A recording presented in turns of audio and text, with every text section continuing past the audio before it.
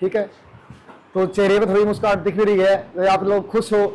जो हमारे उर्फत सर हमारे साथ आए हैं। तो मैं इस तह दिल से धन्यवाद एक बार फिर देना चाहता हूँ। ठीक है? ठीक है बहुत बढ़िया लग रहा है। मज़ा आ गया मेरे को इसकी कहते हैं ना भाई बल्ले बल्ले। तो शुरू करते हैं आप? हाँ हाँ बिल्कुल बिल्कुल। चलिए। तो आप सभी को पता होगा कि मैं कोई प्रोफेशनल ट्रेनर नहीं हूँ। मैंने बता दिया। मेरे पहनावे से भी पता लग रहा होगा कि मैं एकदम टाई शूट बूट कुछ नहीं है क्योंकि आप सभी को अच्छी तरह से पता होगा मैं एक नॉर्मल मैकेनिक हूँ। और अपना एक्सपीरियंस सिर्फ़ आप लोगों के साथ शेयर करना है। आवाज़ पहुँच रही भाई पीछे तक? क्लियर है ना? और लाउड होगा। आवाज़ में मेरी कोई परेशानी ना आपने वीडियो में देखा रहेगा कि मैं पूरे दिन बोलता रहूँगा बट एक भी जरा सा मुझे कोई प्रॉब्लम नहीं होगी आवाज़ में। जी। क्लियर तो सबसे पहला जो ट्रेनिंग का स्टेप है कि मोबाइल अपना साइलेंट बिल्कुल। ना ही वाइब्रेशन मोड पूरी तरह से स्विच ऑफ़ कर दीजिए। क्योंकि मेरी जो ट्रेनिंग होती है बीच में किसी भी तरह का कोई भी ऐसी प्रॉब्लम उत्पन्न नहीं होनी चाहिए। किसी भी तरह का कोई रुकावट नहीं होनी चाहिए। जिससे क्या होता है कि मेरे और एक मैकेनिक के बीच में जो अट्रैक्शन बना हुआ है जो फ्लो बना हुआ है वो खत्म ना हो। क्लियर? पीछे तक। जा रही आवाज़? क्लियर है ना?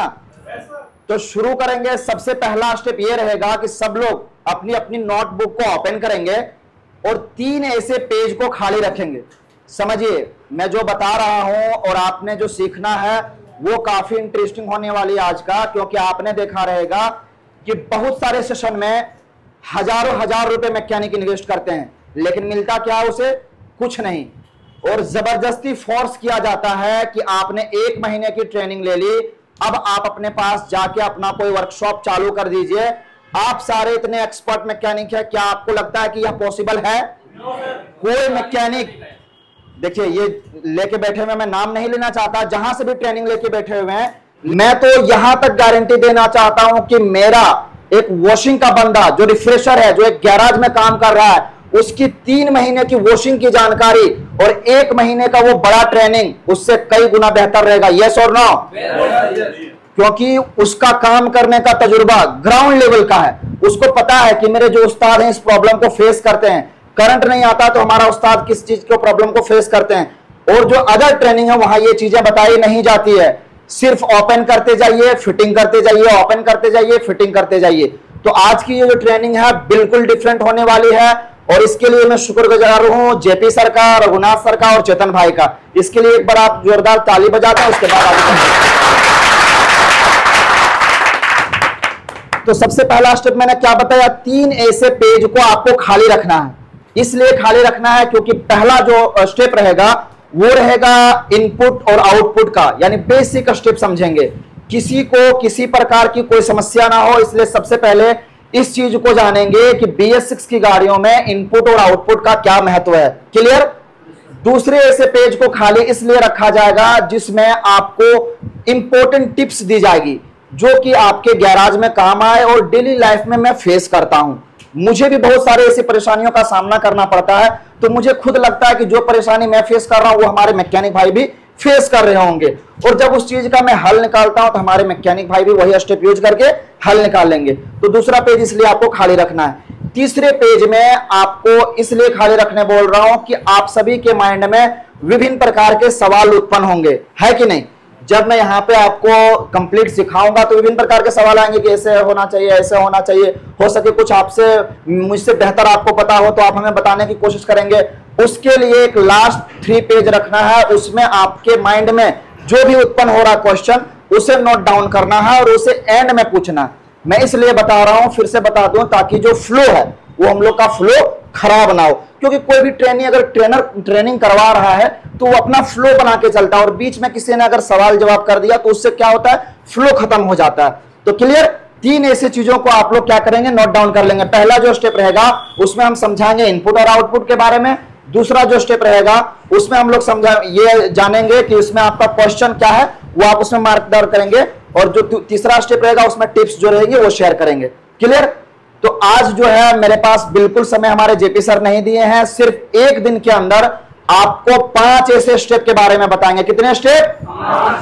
वो कौन कौन सा स्टेप रहेगा जो डेली लाइफ में हमारे मैकेनिक भाई प्रॉब्लम को फेस करते हैं उसी को क्लियर करेंगे। सबसे पहला और बड़ा प्रॉब्लम है वो है फ्यूल का। क्लियर? तो सबसे पहला स्टेप रहेगा तीन स्टेप आप तीन पेज छोड़ के फिर आगे आप लोग लिखना शुरू कर दीजिए पाँच स्टेप के बारे में। यानी पाँच और तीन कंप्लीट एक पेज का कंप्लीट सेशन रहेगा, क्योंकि एक एक सेशन काफ़ी बड़ा बड़ा होने वाला है। तो सबसे पहला जो एक पेज रहेगा, वो सिर्फ़ फ्यूल सिस्टम के बारे में। बहुत सारी चीज़ें हैं फ्यूल में। थ्री फेस पंप है टू फेस पंप है मल्टीमीटर कहाँ पे लगाना, कैसे इंस्टॉल करना, बहुत सारे सवाल उसके अंदर आएँगे। तो इसलिए सबसे पहला और इंपॉर्टेंट स्टेप वो है fuel system sir ji note down कर लीजिए। फ्यूल सिस्टम सबसे पहला स्टेप रहेगा, क्योंकि उसके बारे में जानना काफ़ी इंटरेस्टिंग है। जेपी सर भी बोर्ड पे नोट डाउन करवा दे रहे हैं। सबसे पहला और इंपॉर्टेंट स्टेप फ्यूल सिस्टम। दूसरे पेज में नोट डाउन करेंगे, वो रहेगा करंट सिस्टम स्पार्क जनरेट अगर गाड़ी में ना हो तो हम क्या क्या चेक करेंगे, कैसे सोल्यूशन तक पहुँचेंगे, उसके बारे में। करंट सिस्टम दूसरा स्टेप नोट डाउन कर लीजिए, मैं थोड़ा सा टाइम देता हूँ, उससे बीच में मैं बताते चलता हूँ कि मैं ऐसे बताते चलूँगा, बोलते चलूँगा और आप नोट डाउन करेंगे, ये परफेक्ट ट्रेनिंग नहीं है। तो हम लोग क्या करेंगे? फ़र्स्ट स्टेप में सीखेंगे आपसे कंप्लीट ऑन बोर्ड और जो सेकेंड हाफ़ रहेगा, उसमें आपको कंप्लीट प्रैक्टिकल करके दिखाऊँगा। और उल्फत भाई, आप सभी को पता होगा किस चीज़ को लेकर फ़ेमस है, वो है पीडीएफ का। Correct information company recommended information जो भी है आपके साथ शेयर करेंगे, ताकि उससे आपको एक्यूरेट इंफॉर्मेशन मिले। तो जो भी बुक में लाया हूँ, सारा इस फ़ाइल के अंदर पड़ा हुआ, एक एक फ़ाइल एक एक मैकेनिक को एक्सप्लेन करके सिखाऊँगा, और इतनी बेहतरीन आज की इस ट्रेनिंग का कंप्लीट इंपॉर्टेंट ये हिस्सा रहेगा, जो आपको भी आज का दिन याद रहेगा। तो दूसरा स्टेप आपने याद रखा करंट सिस्टम तीसरा जो स्टेप रहेगा, वो है manual problem manual problem B S six की गाड़ियों में मैकेनिक के लिए सिरदर्दी बना हुआ है। मैं ये नहीं कहता हूँ कि हमारे एक नॉर्मल मैकेनिक मैं एक प्रोफेशनल हूँ रेगुलर मेरी ट्रेनिंग होती रहती है बट मैं भी काफ़ी समय फंस जाता हूँ, वो इसलिए क्योंकि आप सभी को पता होगा हायर सीसी की गाड़ियों में या जिस गाड़ी में किक नहीं होता, उसके अंदर कंप्रेसर चेक करना काफ़ी परेशानी भरा होता है।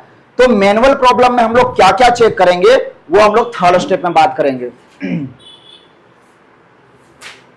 नोट डाउन कर लिए सारे मैकेनिक भाई, तीसरे स्टेप को। चौथे स्टेप में जिस बारे में बात करने वाले हैं, वो एक ही टॉपिक में दो चीज़ों को कवर किए हैं। जैसा कि आपको पता होगा टाइम बिल्कुल भी नहीं है और कम समय में ज़्यादा चीज़ें सिखाना है। इसलिए चौथे स्टेप में हम सभी मैकेनिक भाइयों को सिखाएँगे lighting and charging system note down कर दीजिए लाइटिंग एंड चार्जिंग सिस्टम काफ़ी इंटरेस्टिंग और इंपॉर्टेंट है। लाइटिंग और चार्जिंग सिस्टम के बारे में सभी को पता होना ही चाहिए। यह भी एक बी एस सिक्स वहीकल का काफ़ी इंपॉर्टेंट हिस्सा है।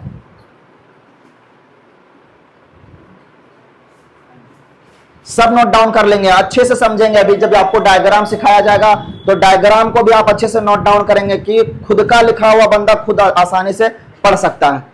नोट डाउन कर लिए। तो पांचवा और लास्ट एक स्टेप रहेगा, वो रहेगा आपका सेल्फ सिस्टम सेल्फ जो है, आप सभी को पता होगा, जब से कंपनियाँ एसीजी स्टार्टर देना शुरू कर दी है, हमारे मैकेनिक भाइयों के लिए सिरदर्दी बना पड़ा है। आपने देखा रहेगा कि नॉर्मल जो गाड़ियाँ थी, जिसके अंदर मोटर सिस्टम लगा होता है, हमारे एक्सपीरियंस से भरा जेपी सर इनको भी पता होगा कि जब भी पहले सेल्फ स्टार्ट गाड़ी नहीं होती थी तो रिले को डायरेक्ट करके हमारे मैकेनिक भाई फाइंड आउट कर लेते थे कि सेल्फ मोटर खराब है या रिले खराब है या वायरिंग खराब है या स्विचेस खराब है। लेकिन अब ऐसा पॉसिबल नहीं है क्योंकि आपको पता होगा एसीजी स्टार्टर वाली गाड़ियों में आपको सेल्फ रिले भी देखने को नहीं मिलेगा जहाँ से आप डायरेक्ट कर सकते हैं। वो रिले है बट वो दूसरा रिले जिसके बारे में आगे हम लोग बात करेंगे। तो सबने आप पाँच ये स्टेप नोट डाउन कर लिया क्लियर है? हो गया पाँच स्टेप तो बढ़े क्या स्टेप की ओर? इसे सीखने से पहले, सबसे पहले एक नॉर्मल मैकेनिक को यह जानना रहेगा कि एक B S six vehicle work कैसे करती है, कैसे काम करता है, कैसे उसका जो स्टार्टिंग सिस्टम काम करता है, उसके लिए सबसे पहले यह समझना पड़ेगा कि इनपुट और आउटपुट किसे कहते हैं। जैसे बहुत सारे सेंसर्स और एक्चुएटर्स लगे हुए हैं तो कहाँ कहाँ से एसीएम को सिग्नल मिलता है और कहाँ कहाँ से वो आउटपुट भेजता है। क्लियर समझ रहे किस चीज़ को मैं बता रहा हूँ? यानी एक ये ईसीयू लगा हुआ है तो इसको कहाँ कहाँ से सिग्नल मिल रहा है और ये आउटपुट वर्किंग के लिए कहाँ कहाँ पे सिग्नल भेज रहा है। उसी चीज़ को नोट डाउन करेंगे तो मेरे पास जो पीडीएफ मैंने आपको बताया कि शुरू से ही ये सारा पीडीएफ मेरे पास है, बहुत सारे ऐसे बुक्स हैं। मल्टीपल अलग अलग कंपनियाँ अलग अलग तरीके से करती है और हमारे मैकेनिक भाइयों को स्पेशली पता होगा कि हम लोग मल्टीपल गाड़ियों के ऊपर फोकस रखते हैं, ना कि कोई एक ब्रांड का। क्योंकि हम लोग एक ऐसे, एक टीवीएस या हीरो या बाजाज या केटीएम या सुजुकी या यामाहा, एक सिंगल ब्रांड के रिपेयर करने वाले मैकेनिक नहीं है। हमारे गैराज में मल्टीपल गाड़ियाँ आएँगी। तो इसके लिए हम लोग क्या करेंगे मल्टीपल गाड़ियों का इनपुट और आउटपुट के मेथड को समझना पड़ेगा। तो सबसे पहले जो इलेक्ट्रॉनिक कंट्रोलर यूनिट होता है, यानी ईसीयू उसका जो इनपुट देता है, वो ऑक्सीजन सेंसर इनपुट ईसीयू लेता है। नोट डाउन कर लीजिए आप सभी मैकेनिक भाई, बाकी तो आपको जब मैं जाऊँगा सबके मोबाइल में एक एक फ़ाइल देते चलूँगा ताकि अगर इन फ्यूचर कोई प्रॉब्लम हो तो उसे आप निकाल कर चेक कर सकते हैं, देख सकते हैं।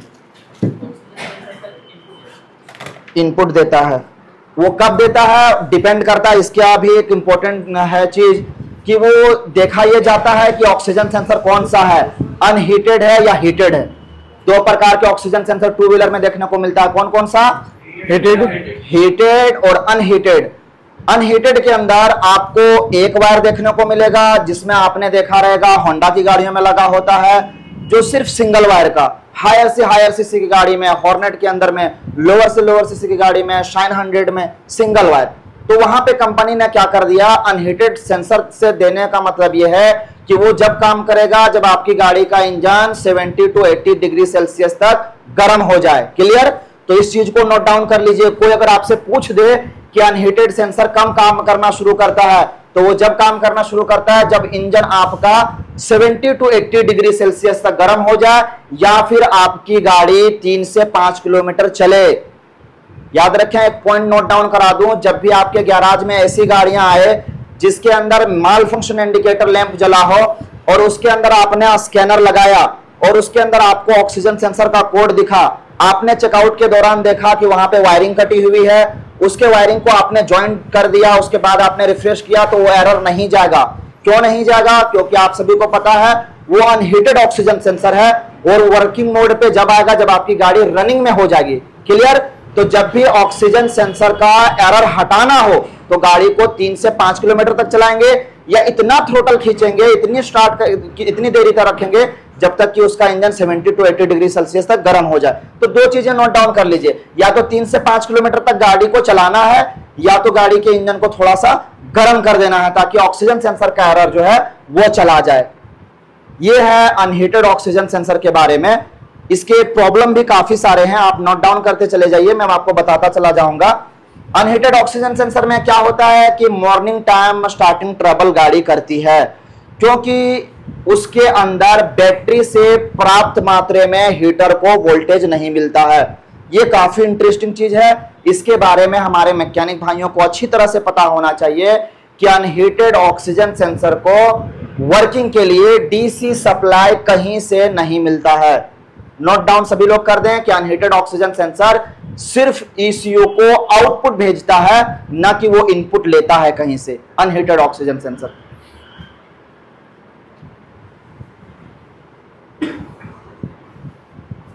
किसी को किसी भी प्रकार का कोई सवाल हो तो पेज नंबर थर्ड जो खाली रखे थे उसमें नोट डाउन कर लें। एक समय दिया जाएगा जिसमें आप पूछ सकते हैं। अनहीटेड ऑक्सीजन सेंसर के बारे में क्लियरली पता चल गया। कि वो जब भी मीटर में माल फ़ंक्शन इंडिकेटर लैंप आएगा ऑक्सीजन सेंसर का P zero one zero three eight करके तो समझ लीजिए ऑक्सीजन सेंसर का है, और उसका अगर आप चाहे लाख रिफ्रेश कर लें, वो नहीं जाएगा जब तक कि इंजन हीट हो जाए। दूसरा स्टेप यह है कि ऑक्सीजन सेंसर के जो अनहीटेड है, उसे वर्क करने के लिए बैटरी की डीसी सप्लाई नहीं चाहिए रहती है।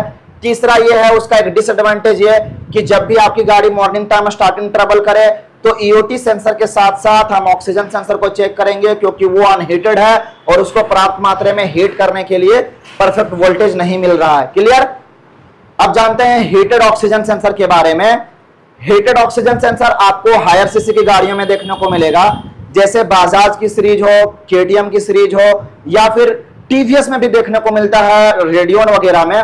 उसमें आपने नोटिस किया होगा सभी मैकेनिक भाई ने देखा है कि नहीं? ऑक्सीजन सेंसर कहाँ पे प्लेस होता है? एग्जॉस्ट वाले साइज़ में ऑक्सीजन सेंसर का काम क्या है? पता है किसी को? ऑक्सीजन सेंसर का काम यह है कि अगर इंजेक्टर ज़्यादा फ्यूल सप्लाई कर रहा है या अनबर्न फ्यूल समझ रहे हैं अनबर्न फ्यूल यानी ये जो इंटेक सिस्टम है और बीच में जो हेड असेंबल है, वहाँ से जो अनबर्न फ्यूल एग्जॉस्ट साइड से अगर निकल रहा हो तो हमारा ऑक्सीजन सेंसर ईसीयू को यह सिग्नल प्रोवाइड करेगा कि आपकी गाड़ी जो है फ्यूल नहीं जला पा रही है। समझ रहे हैं? मैं कैसे समझा रहा हूँ? मैं टेक्निकल एक्सपर्ट नहीं हूँ। मैं मैकेनिक की तरह समझा रहा हूँ, ताकि आपको क्लियरली समझ में आए। तो अनबर्न फ्यूल अगर निकल रहा है, यानी बिना जला हुआ एग्जॉस्ट साइड से क्या निकलना चाहिए? सिर्फ़ स्मोक बट अगर स्मोक के थ्रू अगर फ्यूल निकल रहा है तो वो जो ऑक्सीजन सेंसर है, वो इंडिकेट करेगा सिग्नल प्रोवाइड करेगा ईसीयू को कि आप फ्यूल की छिड़काव को कम कर दिया जाए, क्योंकि आपकी जो है, ये हेड जो है, ये जो स्पार्क सिस्टम है ये अनबर्न फ्यूल को जला नहीं पा रही है और बिना जले फ्यूल एग्जॉस्ट साइड से निकल रही है। अगर इसी तरह से गाड़ी हमारी चलेगी तो इसे कहा जाएगा रिच मिश्रण रिच और लिन दो तरह के होते हैं। लिन मिश्रण और रिच मिश्रण के बारे में समझाएँगे। जब हीटेड सेंसर के बारे में बात करेंगे तो अभी देखिए सर की जैसे मैंने इस टॉपिक को कवर किया यहाँ पे ऑक्सीजन सेंसर ये है आप देख लें। बट याद रखें ये दोनों के दोनों हीटेड ऑक्सीजन सेंसर है। क्लियर देख लें। ये हीटर ऑक्सीजन सेंसर है। अनहीटेड के अंदर सिर्फ़ एक सिंगल वायर रहेगा। और जब उसको मल्टीमीटर से चेक करेंगे मल्टीमीटर पे भी मैं आऊँगा। मल्टीमीटर का बहुत बड़ा खेल है हमारे मैकेनिक भाइयों का। बहुत बड़ा सिरदर्द है मल्टीमीटर को चलाना। उसको मैं आज ग्राउंड लेवल पे बताऊँगा कि मल्टीमीटर में आपको कुछ नहीं करना सिर्फ़ दो से तीन मेथड ऐसे उपयोग करेंगे, जो आपका डेली का जो काम है, वो आपका घंटों का, मिनटों में आपका मल्टीमीटर कर सकता है। साथ ही साथ क्वांटिटी टेस्टर के बारे में बताएँगे। मैं भूल ही जाता हूँ कि मेरे पास टाइम कम है, एक ही चीज़ को काफ़ी देर तक कवर करता हूँ। चलिए आगे बढ़ते हैं। हीटेड ऑक्सीजन सेंसर के बारे में आप समझ लीजिए इसके अंदर कितने वायर हैं। यानी एक से अधिक वायर जिसके अंदर मिल जाए, वो आपका हीटेड या दो से भी अधिक वायर मिले, ज़्यादा से ज़्यादा आपको पाँच वायर का देखने को मिलेगा। ये भी अगर देखेंगे तो इसे आप अनहीटेड ऑक्सीजन सेंसर भी बोल सकते हैं। इसके अंदर भी डीसी सप्लाई कहीं से नहीं मिलता एक ब्लैक वाला वायर हो गया ग्राउंड और दूसरा वायर यहाँ से सिग्नल इश्यू को प्रोवाइड करेगा। टाइम टू टाइम जब ये हीट हो जाएगा। तो हीटेड ऑक्सीजन सेंसर में बेनिफिट यह है कि जैसे आप चाबी स्विच को ऑन करेंगे तो उसके एक वायर में 12 वोल्ट की सप्लाई आएगी, वो इसलिए आएगी। क्यों? क्योंकि अभी आप लोगों को बताए हैं, क्यों आएगा उसके अंदर 12 वोल्ट की सप्लाई हीटर चलाने के लिए। उससे ईसीएम को सिग्नल मिलता है कि आपका ऑक्सीजन सेंसर हीट है। और उससे काफ़ी बेनिफिट होती है। जैसे आप गाड़ी को स्टार्ट करेंगे तो आपकी गाड़ी का आरपीएम लाउड नहीं होगा। आपने कंपेयर किया होगा हायर सीसी को जब स्टार्ट करते हैं कोल्ड स्टार्ट में तो उस समय क्या होती है गाड़ी हमारी? ज़्यादा आरपीएम लाउड नहीं होती और जब स्प्लेंडर को स्टार्ट करेंगे तो मॉर्निंग में काफ़ी ज़्यादा लाउड हो जाता है। और ये केस हमारे मैकेनिक के पास कस्टमर लेके आते हैं कि मॉर्निंग टाइम स्टार्ट करता हूँ तो गाड़ी का आरपीएम अचानक से लाउड हो जाता है। वो क्यों लाउड होता है, उसको दूसरे स्टेप में हम लोग बात करेंगे। तो दो चीज़ें आपने समझ लिया ऑक्सीजन सेंसर को यहीं पे समाप्त करते हैं, क्योंकि आगे बहुत सारी चीज़ें हैं। दो तरह के सेंसर आते हैं अनहीटेड और हीटेड दोनों चीज़ों के बारे में आपको क्लियरली समझ में आ गया। इनपुट जो दूसरा एक और प्रोवाइड करता है, वो है इंजन ऑयल टेम्परेचर सेंसर जिसे कहते हैं शॉर्ट फॉर्म में ईओटी e और जितने भी डायग्राम आप देखेंगे, जितने भी पीडीएफ देखेंगे, उसमें लिखा रहेगा आपको ईओटी e याद रखें, दो चीज़ों को आपको ध्यान में रखना मैकेनिक भाइयों, यहीं पे नोट डाउन कर लीजिए।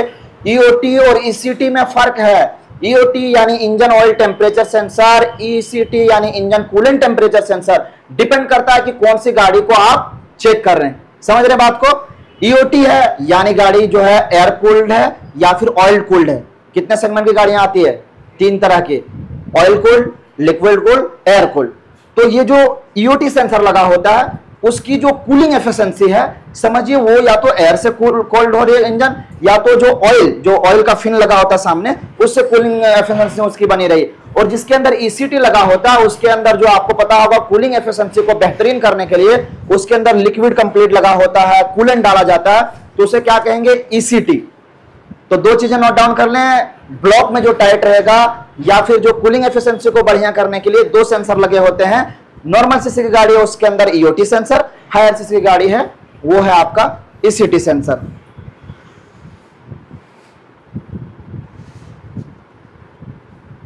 नोट डाउन कर लिए? अब बताते हैं कि ये काम कैसे करता है, आप सभी को बताते चले हैं कि जैसे आप सेल्फ स्विच को प्रेस करते हैं, अभी तो मैं नॉर्मली बता रहा हूँ, जब सेकेंड हाफ़ में इसकी प्रैक्टिकल करेंगे तो आपको क्लियर बताएँगे कैसे कैसे कौन सा डायग्राम कहाँ से जाता है, कैसे काम करता है। जैसे सेल्फ स्विच को आपने प्रेस किया, इंजन के अंदर रोटेशन देखने को मिली। समझ पा रहे क्लियर इंजन जैसे ही रोटेट किया, यहाँ पे फोकस करेंगे, अभी आप अपने जो है कॉपी को छोड़ देंगे। जैसे इंजन के अंदर रोटेशन मिला तो ये जो फ्लाईव्हील है, जिसे मैग्नेट कहते हैं, मैं अपनी भाषा में समझा रहा हूँ अलग अलग जो स्टेट के होते हैं अलग अलग भाषा में समझते हैं, कोई फ्लाईव्हील बोलता है, कोई मैग्नेट असेंबली बोलता है तो उसके अंदर रोटेशन आता है। कब रोटेशन आता है? जब हम आप सेल्फ का उपयोग करते हैं। और जैसे ही रोटेशन आता है तो उसके ऊपर क्या बने थे छोटे छोटे टिथ बने होते हैं और उस टिथ का सिग्नल कौन लेता है? ईसीयू लेता है। समझिए मैकेनिज्म। को एक स्टार्टिंग सिस्टम को जो मैकेनिक समझ गया, वो घंटों का काम, मिनटों में आसानी से सुलटा सकता है। सेल्फ को आपने प्रेस किया सेल्फ स्टार्टर घूमना शुरू किया और वहाँ पे जो टिथ है, वो ईसीयू को सिग्नल प्रोवाइड किया सीकेपी के थ्रू यानी क्रैंक शाफ्ट पोजिशन सेंसर इसे पिकअप कॉइल भी बोल सकते हैं। कई सारे मैकेनिक को जो है, इस आर एस टू हंड्रेड की सीरीज़ में सी एस भी कहा गया है। तो अलग अलग भाषाएँ कंपनी उपयोग करती है बट हमें एक नॉर्मल चीज़ों को याद करना है। CKP pickup coil C S कोई भी अगर आपको कंफ्यूज करना, कर रहा है तो आपको कंफ्यूजन नहीं होना। आप उनको बता दीजिए कि मैं जेपी सर के यहाँ से ट्रेनिंग लेकर आया हूँ। मुझे कोई कंफ्यूज नहीं कर सकता है। क्योंकि मैं कोई आईटीआई फ़ील्ड वाला नहीं हूँ। मैं एक एक्सपर्ट मैकेनिक हूँ। मैं जो डेली लाइफ में फेस कर रहा हूँ, मैं जो सीख रहा हूँ, आपके साथ शेयर कर रहा हूँ। मैं खोलने लगाने वाला चीज़ नहीं कर रहा हूँ। तो तीन चीज़ें याद रखेंगे। Pickup coil CKP sensor CS sensor तो जो क्रैंक एंगल सेंसर है, वो इसके मूवमेंट को ईसीएम तक सिग्नल प्रोवाइड करता है कि इसके अंदर अभी हमें रोटेशन देखने को मिली है। अब ईसीएम क्या करता है कि इंजेक्टर को थोड़ा सा फ्यूल छिड़काव करने को बोल देता है कि इसके अंदर हमें रोटेशन देखने को मिली है। थोड़ा सा फ्यूल को छिड़काव कर दिया जाए ताकि गाड़ी स्टार्ट हो जाएगी। क्लियर तो जब फ्यूल इधर से स्टार्ट हुआ, साथ ही साथ इसके इग्निशन कॉइल को स्पार्क जनरेट करने की अनुमति मिल गई तो वहाँ पे जो है कंबर्शन बनना शुरू हो गया, गाड़ी हमारी स्टार्ट हो गई। अब यहाँ पे चालू होगा काम किसका? ईओटी सेंसर का। ईओटी सेंसर ईसीएम को यह सिग्नल प्रोवाइड करेगा कि भैया जी, इंजन काफ़ी अभी ठंडा है। अगर आप थोड़े थोड़े फ्यूल को अगर ऐसे जनरेट करेंगे तो गाड़ी तो बंद पड़ जाएगी। और कस्टमर को क्या होती है? समझ नहीं होती है। जैसे ही मॉर्निंग टाइम स्टार्ट करेंगे गाड़ी को, पूरी थ्रोटल खींचेंगे। क्यों? मैं गर्म कर रहा हूँ गाड़ी का, ताकि थ्रोटल लेने में कोई प्रॉब्लम ना हो। तो वो क्या करेंगे? फुल थ्रोटल को ओपन करेंगे। तो उस समय कौन सिग्नल भेजेगा ईसीयू को? ईओटी सेंसर वो ये भेजेगा कि आपकी इंजन की ऑयल जो है ना, वो काफ़ी कोल्ड पड़ा हुआ, ठंडा है। यानी उसके मतलब से पता चला क्या कि हमारी गाड़ी का इंजन भी ठंडा है। तो उस समय क्या करेगा? फ्यूल के छिड़काव तो को बढ़ाएगा ही बढ़ाएगा। साथ ही साथ आईएसी भी वाल्व आपको पता है कहाँ पे लगा होता है? थ्रोटल बॉडी में। उसको पूरी तरह से क्लोज कर देगा। आरपीएम हाई होने का आपको बता देते हैं मेथड कैसे हाई हो रहा है। आईएससीबी वाल्व को क्लोज कर देता है। उससे क्या हुआ? एक तरह से हम लोग मैनुअल चौक को लगा दिए। आईएससीबी वाल्व तो मैनुअल चौक लग गया। तो उस समय क्या होता है कि एयर फ्लो सुन रहे मैकेनिक भाइयों? ध्यान रखेंगे, काफ़ी इंपॉर्टेंट टिप्स है। एयर फ्लो रोक दिया जाता है और फ्यूल के फ्लो को बढ़ा दिया जाता है। जिससे क्या होती है कि हमारी गाड़ी का आरपीएम लाउड हो जाता है। कोई भी मैकेनिक आपके पास, कोई भी कस्टमर आपके पास ऐसी गाड़ियाँ लेकर आते हैं कि मॉर्निंग में बहुत ज़्यादा आरपीएम लाउड हो जाता है तो आपको पैनिक नहीं होना है। क्योंकि एक ये मेथड है बी गाड़ियों का आरपीएम लाउड होने का।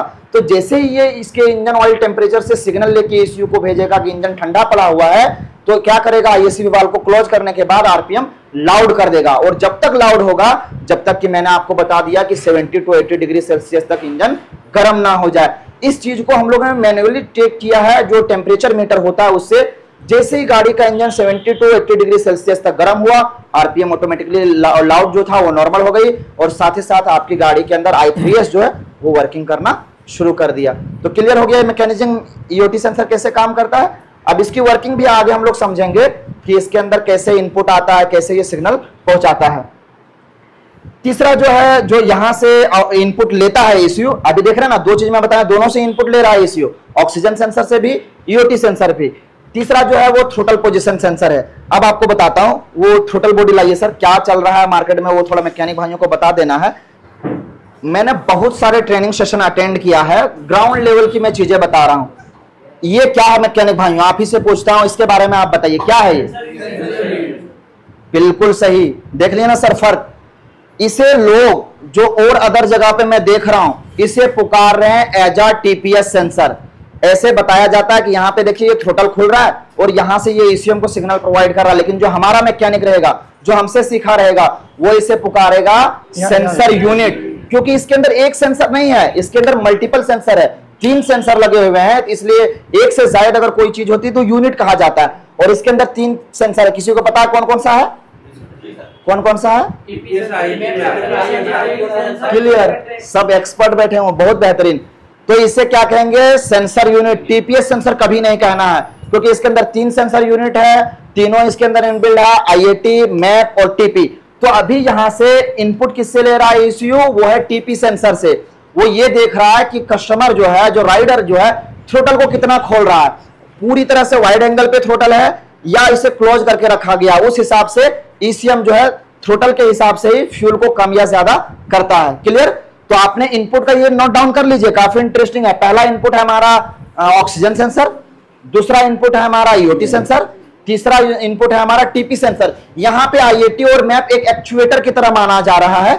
इस सेंसर के यूनिट के लगा, अंदर लगा हुआ लेकिन स्टार्टिंग के दौरान इससे सिर्फ़ एक ही चीज़ का काम लिया जा रहा है ईसीयू का वो है TP sensor clear note down कर लिया तीन चीज़ों को। किसी को कोई अगर परेशानी हो रही हो किसी के चक्कर तो हमें पूछ सकते हैं कुछ। कोई दिक्कत तो नहीं सबसे सारा बढ़िया समझ क्लियर है भैया? हाँ कहीं कोई दिक्कत हो तो पूछिए, क्योंकि हम भी आपके जैसे ही हैं। बहुत हिचकिचाते हैं लोग, एकदम क्लियर पूछिए जो भी हो कंफ्यूजन तीन चीज़ें नोट डाउन कर ली। अभी ये जो चौथा इनपुट जहाँ से ईसीयू को मिल रहा है, वो है सी ए एस अभी जिसके बारे में मैंने बताया था कि सेल्फ वाले बटन को प्रेस करते हैं तो पहला जो सिग्नल मिलता है वो सी ए एस से बोलते मिलते हैं। इस चीज़ को आपको बताते चले, आप मैकेनिक भाइयों को दिखा रहा हूँ। आप मत दिखाइए इधर, क्योंकि ये ऑफिशियल चीज़ है। किसका है ये? बाजाज ऑटो लिमिटेड का। क्लियर तो ये अपने क्रैंक एंगल सेंसर को पुकारता है सी एस बोल के। अगर यही होंडा की गाड़ी में देखेंगे तो वहाँ उन लोग बोल रहे हैं सीकेपी और अगर हीरो की गाड़ी में बोल रहे हैं नॉर्मल मैकेनिक वहाँ पे बोल रहे हैं कि ये पिकअप कॉयल है प्लेशर कॉयल है। बहुत तरीके से बात बोल रहे तो आपको कंफ्यूज नहीं होना। सारी चीज़ें एक है, नाम सभी लोग अलग अलग ले रहे हैं। तो यहाँ पे क्या है? क्रैंक एंगल सेंसर भी एक इनपुट का मेथड है। तो चार चीज़ों से यहाँ पे इनपुट ले लिया है। और ज़रूरी नहीं मैं सिर्फ़ एक गाड़ी मल्टीपल गाड़ियों का मैं इंफॉर्मेशन लेकर आया हूँ इनपुट और आउटपुट का बट आपको बताते चलूँ, अभी जो मैं ये बता रहा था, ये 125 सीसी सेगमेंट का बता रहा था क्लियर अभी जब मैं हायर सीसी पे शिफ्ट हूँगा तो यहाँ पे इनपुट और आउटपुट के कई सारे मेथड है, जिसके बारे में अभी हम आपके, आपको बताएँगे। उससे पहले आउटपुट नोट डाउन करवा देते हैं, ताकि एक ही चीज़ हो, ज़्यादा कंफ्यूजन क्रिएट करेंगे तो फिर उसमें भी परेशानी होगी। चलिए आउटपुट के बारे में समझ लेते हैं कि आउटपुट किसे कहा जाता है। एक लाइनिंग क्रिएट कीजिए एक लाइनिंग क्रिएट कीजिए ताकि आपको क्लियरली समझ में आएगा। एक साइड रख दीजिए इनपुट बीच में आप ईसीयू ऐसे बनाइए एक साइड रख दीजिए इनपुट और दूसरे साइड आउटपुट इससे क्या होगा ना मैं आपको नॉर्मली बता देता हूँ आपको पता चलेगा चेक करने के दौरान कि ये सारे चीज़ों को इनपुट मिल रहा है यहाँ से आउटपुट हमें कैसे चेक करना है। एक लाइन क्रिएट कर दीजिए लाइन ताकि आपको एकदम क्लियरली सब समझ में आ जाए। बिल्कुल सही। अब इस साइड इनपुट डाउन कीजिए और इस साइड आप कर दीजिए आउटपुट डाउन कर दीजिए। एकदम क्लियरली समझ में आएगा। या सर हमारे यहाँ पे बता दे रहे हैं एकदम इसी आप इमेज क्लिक कर सकते हैं। पहले आपने लिखने पड़ेंगे इनपुट जैसे ये इलेक्ट्रॉनिक कार्बोरेटर है ठीक है? तो उसके अंदर आपको मल्टीपल चीज़ें देखने को मिलेगा। बहुत सारी चीज़ें उसके अंदर लगा होता है। उसके अंदर सबसे पहले स्टेप में आपको जो आउटपुट ईसीएम जो भेजता है वो है air injection actuator clear note down कर लीजिए। आउटपुट जो मिलेगा नॉर्मल शब्दों में एयर सोलोनॉइड भी उसे आप लिख सकते हैं लेकिन कंपनी जो अपने बुक में कहती है वो कहती है एयर इंजेक्शन एक्चुएटर इसलिए अब इसकी वर्किंग क्या है? कैसे समझेंगे कि एयर इंजेक्शन एक्चुएटर सही है या खराब है? कंपनी कैसे कह, क्या कहती है? सबसे पहला स्टेप जो कंपनी कहती है कि एयर इंजेक्शन एक्चुएटर सही है या खराब उसे चेक करने के लिए सबसे पहले यह देखना है कि एयर इंजेक्शन एक्चुएटर सही से और ठीक से बैठा हो। पहला स्टेप दूसरे स्टेप में जो चेक करना है कि जैसे आप चाबी स्विच ऑन कर रहे हैं तो इसके अंदर से किट किट किट किट से साउंड उत्पन्न होने चाहिए। बीएसएक्स की जो गाड़ियाँ हैं इलेक्ट्रॉनिक कार्बोरेटर वाली, सभी मैकेनिक तो रिपेयर किए होंगे ना? तो आपने चाबी स्विच ऑन किया हुआ, देखा आवाज़ से साउंड से उसमें आती है। क्लियर तो वो क्या है? वो एयर इंजेक्शन एक्चुएटर की परफेक्ट माना जाता है वर्किंग का। अब यहाँ पे मैंने कई सारे सेशन देखे हैं लोगों का, उसमें बताया जा रहा है कि ये एयर इंजेक्शन एक्चुएटर का जो वर्किंग है, ये डीसी सप्लाई से होता है। जी नहीं। ये डीसी सप्लाई से टेस्टिंग आप इसे कर सकते हैं, लेकिन इसको जो वर्किंग भेज रहा है, वो कौन भेज रहा है? ईसीयू क्योंकि मैं ये नहीं, मैं एक कंपनी बोल रही है कि आउटपुट इसे मैं दिला रहा हूँ ईसीयू से। क्योंकि चाबी स्विच जब ऑन करते हैं, वहाँ से ईसीयू को सिग्नल मिल रहा है और वो आउटपुट भेज रहा है कि मैं सही हूँ। क्योंकि आपको बता दें, जब भी किसी गाड़ी में, खासतौर पर बाजाज की पल्सर हो प्लाटिना हो, या सिटी हंड्रेड हो सिटी वन टेन हो, उसके अंदर ईसीएम में जब हैक्स फ़ाइल आ जाता है तो उस समय आपका एयर इंजेक्शन एक्चुएटर काम नहीं करेगा। क्लियर आपने हैक्स फ़ाइल का लगता कभी नहीं उसका सोल्यूशन निकाला है या कभी कुछ ऐसा किया है? हैक्स फ़ाइल एक ऐसा प्रॉब्लम है, ऐसा प्रॉब्लम है जो हमारे मैकेनिक भाइयों के लिए सिरदर्दी बनी हुई है। और इसका सोल्यूशन अभी तक अगर देखा जाए तो हमारे मैकेनिक भाइयों के लिए पास नहीं है। एक कंपनी वालों ने बहुत बड़ी यहाँ पे गलती कर दी, क्योंकि मैकेनिक से बड़े नहीं रह सकते उन लोग को। जो भी इंफॉर्मेशन है मैकेनिक को देनी चाहिए, और ऐसी गाड़ी बनानी चाहिए जो मैकेनिक की फ्रेंडली हो, जो जब भी गाड़ी मार्केट में चल पाएगी। तो उन्होंने क्या किया? एक ऐसा सिस्टम उसके अंदर डाल दिया है, उसके ईसीएम के अंदर डाल दिया ऐसा सॉफ्टवेयर ऐड किया है कि कुछ दिन गाड़ी चलने के बाद गाड़ी ऑटोमेटिकली आपके चलते चलते बंद हो जाएगी। उसका हमारे मैकेनिक भाइयों के पास सोल्यूशन है शॉर्ट फॉर्म सोल्यूशन है। बैटरी के नेगेटिव टर्मिनल को आप निकाल दीजिए या एक फ्यूज को निकाल दीजिए तो गाड़ी कुछ दिनों के लिए सही हो जाती है। फिर दिन वही प्रॉब्लम आ जाता है। तो उसका करेक्ट सोल्यूशन क्या होता है? मजबूरन न चाहते हुए गाड़ी हमें सर्विस सेंटर भेज देना पड़ता है। और वहाँ पे कंपनी वाले क्या करते हैं? ओटीपी जनरेट करवाते हैं ईसीयू को रिफ्रेश करवाते हैं और हैक्स फ़ाइल हटाते हैं। जब गाड़ी के अंदर से फिर से जो है वर्किंग में हमारा एयर इंजेक्शन एक्चुएटर आ जाता है। मैं ये इसलिए इतना बता रहा हूँ, मेरा कहने का मोटिव यह है कि एयर इंजेक्शन एक्चुएटर अगर सिर्फ़ बैटरी से वर्क होता तो हैक्स फ़ाइल यानी ईसीएम के खराब हो जाने के बाद भी तो वो वर्क करता। लेकिन ईसीएम जब खराब हो जाता है तो एयर इंजेक्शन एक्चुएटर वर्क नहीं करता है। इससे पता क्या चला कि इसको आउटपुट कहाँ से मिल रहा है? ईसीयू से मिल रहा है। क्लियर क्योंकि अगर हैक्स फ़ाइल आने के बाद तो ये काम करता ही नहीं। तो एयर इंजेक्शन एक्चुएटर का टेस्टिंग का मेथड मैंने क्या बताया? सब इससे पहला स्टेप कि ठीक से चेक करें कि सही से बैठा हो। तो टेढ़ा बैठा रहेगा, उसके अंदर से एक इंजेक्टर नीडल निकलती है, वो परफेक्ट फ्लो नहीं कर पाएगा। दूसरे स्टेप में ये चेक करना है कि उसको वर्किंग के लिए इनपुट 12 वोल्ट की सप्लाई आनी चाहिए। तीसरे स्टेप में ये चेक करना है कि वहाँ से जो सिग्नल वाला वायर ईसीओ तक जाता है, उसका वहाँ तक जो सिग्नल का है, वो कंप्लीट उसकी कनेक्टिविटी परफेक्ट होनी चाहिए। चौथे स्टेप में एक आसान स्टेप ये बताया जाता है कि इसको चेक करने के लिए मल्टीमीटर को आपको जो सेट करना है, वो सेट करना है 200 हंड्रेड ओहम पे। मल्टीमीटर के ऊपर भी आएँगे क्योंकि ये सबसे बड़ा कंफ्यूजन है। मल्टीमीटर को कैसे चेक किया जाता है? 200 हंड्रेड ओहम पे जब आप सेट करेंगे और एयर इंजेक्शन एक्चुएटर के अंदर दो पिन देखने को मिलेगा, इसका पिन का जो कनेक्टर रहेगा वो व्हाइट कलर का रहेगा। दोनों पिन को जब आप उसके अंदर लगाएँगे तो रीडिंग जो आपको देखने को मिलेगा वो 50 टू 60 ओहम का। क्लियर नोट डाउन कर लीजिए सर जी 50 टू 60 ओहम का। एयर इंजेक्शन एक्चुएटर एक ऐसा चीज़ है, जो अगर आपकी गाड़ी में सही ना हो तो फिर आपकी गाड़ी का आरपीएम फ्लक्चुएट करता रहेगा, ऊपर नीचे करता रहेगा, आप सोल्यूशन नहीं निकाल पाएँगे। जब हाँ 200 ओहम पे लगाना है, और उसके अंदर जो 50 टू 60 ओहम की रीडिंग आपको देखने को मिलेगी। क्लियर आउटपुट को जल्दी कवर करते हैं, बहुत सारी चीज़ें हैं। चलिए, दूसरा जो आउटपुट है, वो अभी इलेक्ट्रॉनिक कार्बोरेटर के बारे में बात कर रहे हैं। तो वो है ऑटो चौक ऑटो चौक काफ़ी अहम रोल है इसका. ऑटो चौक का एक इलेक्ट्रॉनिक कार्बोरेटर वाली गाड़ियों में, क्योंकि ये भी ईसीएम से ही सिग्नल लेता है आउटपुट के थ्रू और ये जब काम ना करे तो इसे चेक करने के लिए सेम वही मेथड का उपयोग करना है कि सही जगह पे ये बैठा हो. दूसरे स्टेप में आपको चेक करना है मल्टीमीटर को फिर से 200 ओम पे लगाएँगे पिन वन पिन टू को कनेक्ट करेंगे, और उसके बाद जो रीडिंग आपको देखने को मिलेगा वो आपको देखने को मिलेगा। इसके अंदर जो इनपुट सप्लाई की, वो 5.9 से 5.1 का। नोट डाउन कर लीजिए। जब तक उसको इनपुट नहीं मिलेगा तो वो प्राइमरी के लिए रेडी नहीं है, क्योंकि इनपुट उसको मिलना ही चाहिए। जब इनपुट उसे मिल रहा होगा, उसके बाद भी गाड़ी अगर स्पार्क नहीं कर रही है तो उसका जो दूसरा वायर है, जिसमें टाइम टू टाइम जो सिग्नल आ रहा है, वो सिग्नल कहाँ से आ रहा है? सी से, जो मैंने इनपुट में बताया। आप समझ रहे ना बात को? इनपुट अगर ईसीयू को मिलेगा, जब तो वो आउटपुट भेजेगा। तो जब आप करंट को चेक करेंगे तो अभी स्टेप में आपको बताएँगे कि इनपुट अगर सीएस उसको भेज रहा है ईसीयू को तो वो आउटपुट इग्निशन कॉइल को भी भेजेगा। तो उस वायर को चेक करना है, कनेक्टिविटी मोड पे मैं आपको दिखा दूँ। अगर आपको मल्टीमीटर चलाना नहीं आता तो इस तरह से एक प्रोडक्ट आता है देख लें अच्छे से। कंटिन्यूटी टेस्टर इसे आप लगा के ऐसे चेक कर सकते हैं कि वायर बीच में ऐसे क्रैक है क्या। ऐसे चेक कर सकते हैं।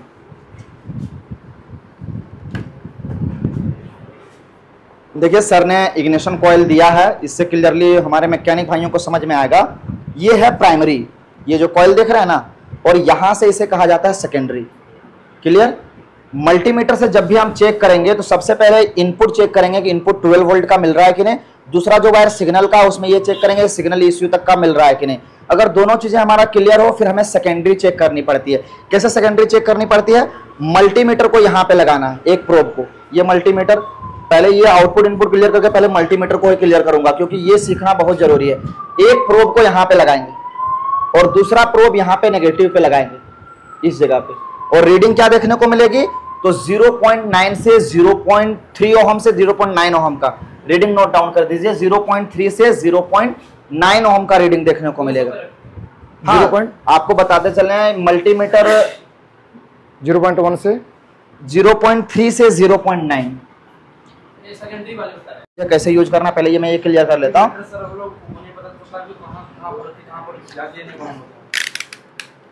Two hundred ohm two hundred ohm clear इसके बारे में मैं ये येलो मल्टीमीटर क्यों मंगाए? क्योंकि हम लोग के पास एक्स्ट्रा ऐसे बड़े बड़े टूल्स हैं जिसे ऑटोमेटिक मल्टीमीटर टच सेंसिटिव वाला कहा जाता है। बट ये मैं अफोर्ड कर सकता हूँ। कोई ऐसा मैकेनिक है जिसे अफोर्ड नहीं कर सकता। बहुत सारे ऐसे लोग हैं जो नहीं खरीद सकते। तो उसके लिए भी है ना, सिर्फ़ डेढ़ सौ रुपए, एक सौ बीस रुपए में ये चीज़ मिलती है तो इसे तो ले सकता है ना। ये तो आराम से कोई लेगा। इसलिए आज की इस पूरे सेशन में इस मल्टीमीटर को कभी उपयोग नहीं करूँगा। हाँ एक आध डेमो दूँगा, क्योंकि इससे मैं अगर आपको टेस्टिंग बता दूँगा तो फिर आपको इसका चलाना का कोई मोटिव बनेगा। चला ही नहीं पाएँगे। क्योंकि इसमें अगर बता दिया, ये है प्योर ऑटोमेटिक इसके अंदर मैं दो प्रोब कनेक्ट करूँगा, किसी भी सेंसर या यूनिट किसी में लगाऊँगा, ये ऑटोमेटिकली फाइंड करके बताएगा कि इतना चीज़ें कहीं सेटिंग करने की कोई आवश्यकता नहीं। तो इसके बारे में मैं आपको बताऊँगा। अभी आपने समझ लिया कि 200 हंड्रेड ओहम पे लगाना जब हम इसके सेकेंडरी को चेक करेंगे। आगे जो मिलता है एक और आउटपुट वो है स्पीडोमीटर को।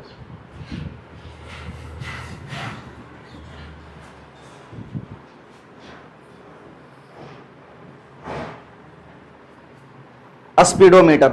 ये है फोर्थ नंबर का, यानी इनपुट हमारा मिल रहा है चार और आउटपुट जा रहा है पाँच चीज़ों के पास। अब आप सभी सोच रहे होंगे कि ये स्पीडोमीटर का क्या कनेक्शन है ईसीएम के आउटपुट से?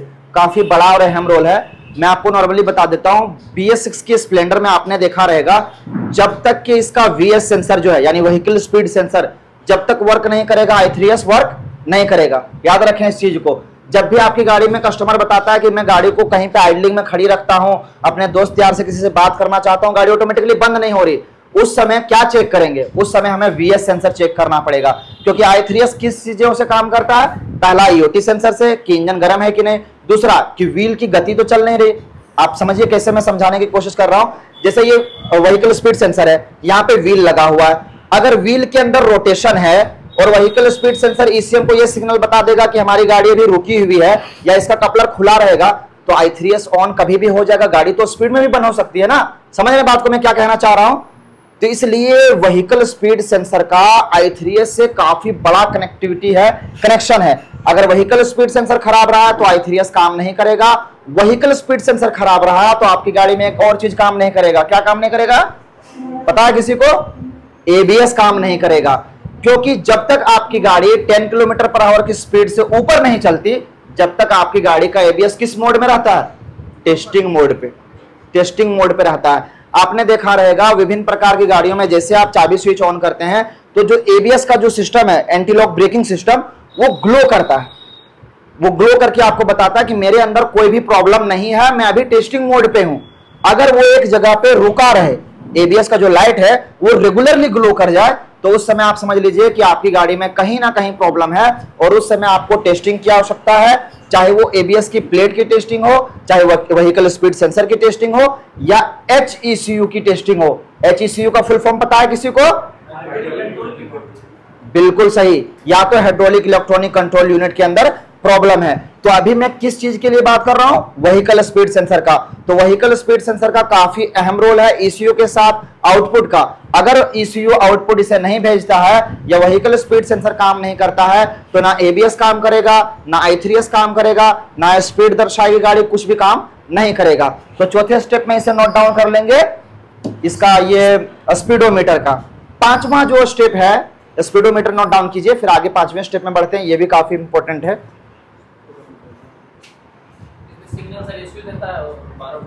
हाँ इसमें तीन वायर के वीएस सेंसर होते हैं। सिग्नल जब इसको ये इश्यू भेज रहा है, आपको बताएँगे जब थ्री फेस के ऊपर बात करेंगे जब। उसमें क्या है कि वीएस सेंसर को वर्क करने के लिए सिर्फ़ फाइव वोल्ट की आवश्यकता है और वो भी वोल्टेज उसे नहीं करेंगे रेफरेंस बोलेंगे। किससे मिल रहा है? ई से मिल रहा है। तो ई से जिससे मिलता है, वो सिर्फ़ रेफरेंस मिलता है। रेफरेंस वोल्टेज उसे कहा जाता है। रेफरेंस ले रहा है, यानी सहारा। अगर इसे बैटरी चलाता फ्यूज बॉक्स चलाता तो डायरेक्ट वोल्टेज हो गया। लेकिन ये रेफरेंस वोल्टेज ले रहा है। किससे ले रहा है? ई से। तो वहाँ पे कितना मिलेगा? सिर्फ़ फाइव वोल्ट तीन वायर रहेंगे। पहला वायर जिसके अंदर आपको फाइव वोल्ट का रेफरेंस मिलेगा दूसरा वायर जिसके गाड़ी का ग्राउंड प्रोवाइड किया जाएगा और तीसरा वायर जो यहाँ से ईसीएम तक सिग्नल ईसीएम से स्पीडोमीटर तक सिग्नल वहाँ से ब्रेकिंग तक सिग्नल और वहाँ से इसके आई तक सिग्नल तो तीन वायर किसके हैं? पहला सिग्नल के लिए, दूसरा इनपुट वोल्टेज के लिए और तीसरा ग्राउंड के लिए। तीन वायर के वीएस सेंसर आपको ज़्यादातर देखने को मिलेगा गाड़ियों में। क्लियर है ना? समझ में आ रहा है स्पीडोमीटर के सेंसर का कंप्लीट टेस्टिंग जब भी चेक करना हो, सबसे पहले फाइव वोल्ट का रेफरेंस चेक कर लीजिए कि इनपुट मिल रहा है कि नहीं। दूसरा, फिर बीप मोड पे कनेक्टिविटी चेक कीजिए। और तीसरा मोड मैंने बताया बीप मोड पे कनेक्टिविटी लेने के बाद, वहाँ मीटर तक चेक कीजिए कि बीच में सतार कटाना हो। चौथा जो मोड है, वो काफ़ी, ये जो पांचवा जो स्टेप है, ये काफ़ी इंटरेस्टिंग है। आपको बताते चले आउटपुट जो भेजता है ईसीयू वो भेजता है डीएलसी को। डीएलसी क्या है? बिल्कुल सही। डेटा लिंक कनेक्टर को भेजता है। वो इसलिए कि जब भी हमारी गाड़ी में एम आई एल क्या है? Malfunction indicator lamp glow करता हो तो उस समय एक मैकेनिक का काम आसान करने के लिए आप उसके अंदर ओबीडी की कनेक्टिविटी लेंगे। उससे हमें यह पता चलेगा, पीछे आवाज़ आ रही भाई क्लियर है? तो उससे आप कनेक्टिविटी लेंगे और ये पता करेंगे कि हमारी गाड़ी में कहीं कोई खराबी तो नहीं है। तो अगर ईसीयू यहाँ तक जो कैन लो, कैन हाई जो है, वो अगर भेजना बंद कर दे तो सिर्फ़ इनपुट और ये जो इनपुट और जो ग्राउंड से कभी कनेक्टिविटी ली जा सकती है, जैसा आपने बताया सर जी, नहीं हो पाया ना एक्सल हंड्रेड के अंदर कनेक्टिविटी नहीं मिली, क्योंकि उसके अंदर से जो आना चाहिए आउटपुट ईसीयू से वो नहीं मिल पा रहा है। यानी ईसीएम के अंदर क्या डेटा स्टोर है, वो आपको पता नहीं चल पा रहा है। तो इसके लिए ज़रूरी क्या है डेटा लिंक कनेक्टर के पास आउटपुट मिलना। क्लियर तो पहले फिर से मैं एक बार रिवाइज कर लो, सब लोग अपना मिला लीजिए। इनपुट पहले देखिए, सब लोग पहले डीएलसी कपलर को नोट डाउन कर लीजिए डीएलसी कपलर। पाँचवें स्टेप में जो हमारा है, वो है डीएलसी कपलर।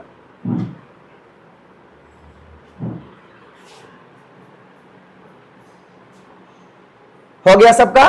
तो इनपुट के ऊपर एक बार ध्यान देंगे, किसी का कोई मिसिंग तो नहीं। सबसे पहले मैं बताता हूँ इनपुट जो मिल रहा है, वो है oxygen sensor clear EOT sensor TPS sensor crank angle sensor सबने नोट डाउन कर लिया?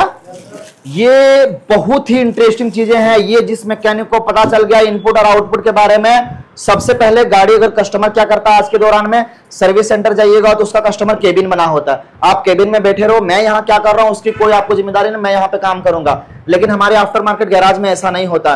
मैकेनिक आपके ऊपर चढ़ा रहेगा और वो आपके हाथों को, आपके टेक्निकल आइडियाज़ को, आपके मल्टीमीटर के यूज़ करने के तरीकों को देख के वो फाइंड कर लेगा कि ये एक्सपर्ट मैकेनिक है या नॉर्मल मैकेनिक है।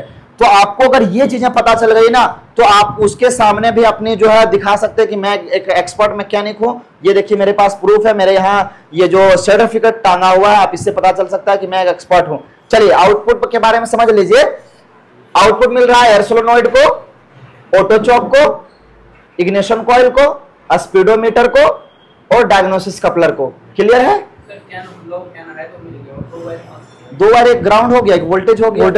वोल्टेज आपको बताते चले ये कहाँ गया इग्निशन को एक यूनिट है कोई भी इलेक्ट्रॉनिक इक्विपमेंट है वो जब तक उसको डीसी सप्लाई नहीं मिलेगा वो अधूरा है। डीसी सप्लाई तो चाहिए ही चाहिए। तो आप अगर स्कैनर की कनेक्टिविटी लेंगे तो उसके अंदर डीसी सप्लाई आएगा ही नहीं तो ऑन कैसे होगी? समझ रहे हैं बात को? तो डीसी सप्लाई को वर्क करने के लिए तो नेगेटिव पॉइंट चाहिए ही। तो चार वायर के अगर कपलर कनेक्शन है तो दो वायर के अंदर तो आ गया आपका कैन लो कैन है और तीसरे वायर का आपका ग्राउंड हो या चौथे वायर के अंदर वोल्टेज आ गया क्लियर किसी किसी में आपको पाँच वायर भी देखने को मिलेगा। वो किस लिए होता है आप लोग को पता है? देखिए सुजुकी के अंदर अगर आप, आपको पाँच वायर देखने को मिलता है तो आपने देखा रहेगा उसके अंदर एक लाउड आरपीएम का प्रॉब्लम है जिसका मैनुअल में सर के कहने से ये लाया हूँ इसको भी मैं ओपन करके दिखाऊँगा। मैकेनिक के लिए स्पेशली जुगाड़ है क्योंकि एक ये समझिए सुजुकी का ये जो एयर सोलोनॉइड है इसका प्राइस कितना है? चौदह सौ साठ रुपए। आपने इस प्रोडक्ट को कस्टमर की गाड़ी में डाल दिया। गाड़ी के अंदर आरपीएम लाउड हो रहा है। फिर से प्रॉब्लम आपने सॉल्व किया। फिर से लाउड हो रहा है। तो कस्टमर ये नहीं समझेंगे कि आपने उसके अंदर नया प्रोडक्ट डाला। वो समझेंगे कि मैकेनिक के अंदर कमी है, जो ये सही नहीं कर पा रहे हैं।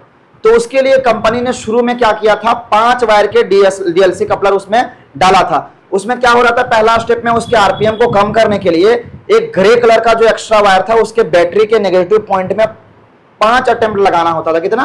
पाँच अटेम्प्ट लगाने से आरपीएम डाउन हो जाता था। बट वो परमानेंट सोल्यूशन ना होने की वजह से इस तरह से आफ्टर मार्केट टूल लगाना पड़ा, जिससे आरपीएम डाउन किया गया। उसके हम फ्यूल सिस्टम में आगे समझेंगे कि आरपीएम को कैसे डाउन किया जाता है।